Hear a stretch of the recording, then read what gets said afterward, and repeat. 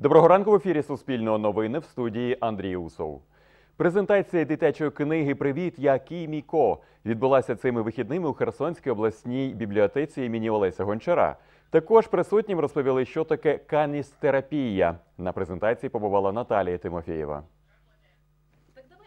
На презентацію завітала головна героїня книги Кіміко Такара, собака породи Акіта Іну. Авторка видання і власниця чотирилапої Марина Рудакова каже, що книга це здійснення її мрії. Эта книга – это Ця книга це здійснення моєї мрії. Коли з'явилась Кіміко, в мене почали виникати якісь рими, і так виникла мрія видати книгу з цими віршами. Я обожнюю Кіміко і хочу, щоб у якомога більше людей про неї дізнались. Книга складається з віршів і ілюстрацій, які були створені спеціально для цього видання. Після презентації діти мали змогу поспілкуватися з Кіміко. Коли я гладив собачку, я чувствував, що він такий пухнастий і хороший. Було цікаво слухати про Кіміко, та книжка цікава була. Моя дитина дуже полюбляє собак, а, саме ще й Акітаїну. Це для от він полюбляє хаски, Акітаїну, от такі породи собак. Йому дуже подобається. І я вважаю, що поєднавши оці дві би, справи, любов до тварин, зокрема до собак, і е, таку любов до читання, яка тільки в нього прокидається.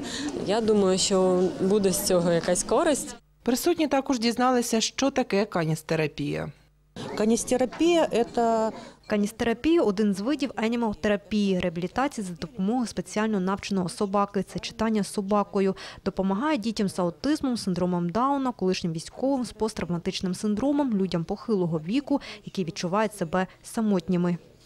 Марина Рудакова розказала, для того, щоб займатися каністерапією, Кіміко прийшла спеціальне навчання. Она сдает экзамены.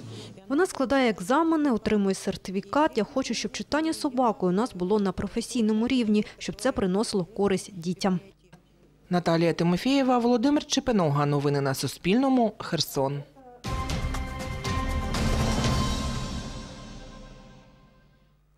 У Херсонському ботанічному саду відкрили бал хризантем. Чим доповнилася цьогорічна колекція, бачили кореспонденти Суспільного. Незважаючи на похмуру погоду, у ботанічний сад приходять херсонці разом з родинами, щоб помилуватися хризантемами. Цього року тут розквітло 100 сортів. Олег прийшов на бал хризантем з родиною. Дуже файне місце. Е, Сам я з Таврійського мікрорайону, але не очікував, що в нас таке на такому на нашому мікрорайоні є таке гарне місце, бо вдома буває не дуже так часто, але дуже файно. Нам сподобалось, ми живемо тут поряд і ніколи тут не були. А оце вибралися дуже дуже задоволені. Ми сюди вперше потрапили, і нам дуже сподобалося. Ми не очікували такого побачити. Дуже гарно. Дуже таке різноманіття квітів, е, якого ще ну, я не бачила. Ми не могли пропустити цю подію і е, щасливі, що при, прийшли сюди, тому що дійсно бал справжній, яскравий, чудовий. Нам дуже подобається. Я також займаюся трошки ландшафтним дизайном в себе на дачі, розводжу е, троянди, також хризантеми, е, різні інші квіти. Але е, тут вражень дуже багато. Кольорова гама дуже шикарна. Це дуже красиві квіти. А ще можна зробити класну фотосесію до інстаграму. Еколог Олексій Костенко говорить, що колекція хризантем у ботанічному саду буде доповнюватися. Перший бал хризантем був у 2018 році, і перші хризантеми до нас прибули з Криворізького ботанічного саду.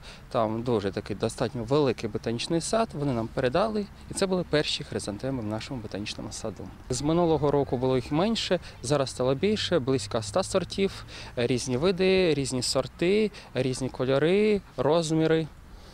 Є жовті, є білі хризантеми. Тобто в цьому році по кількості сортів, по розмірам ділянки став більше бал хризантем. Хризантеми це вид квіткових рослин родини айстрових, налічує близько 40 видів. І вперше самі хризантеми з'явилися в Китаї ще до нашої ери. Потім вони потрапили на територію Японії, де здобули такий символ, як е, національний символ. Дуже вони тісно переплетені, з японською культурою. А на території Європи з'явилися в 17 столітті. В основному всі сорти хризантем є декоративними, але деякі використовуються як і лікарські сорти. У хризантем довгий період цвітіння, говорить Олексій Костенко, тому помилуватися квітами херсонці зможуть до кінця листопада за сприятливих умов та відсутності сильних морозів. Ботанічний сад відкривається о 8 і працює до 17 години. Олена Протопопова, Григорій Шматко. Новини на Суспільному. Херсон. На цьому наш випуск завершено. Наступні новини на Суспільному о 13.30, а ранок на Херсон триває. До побачення.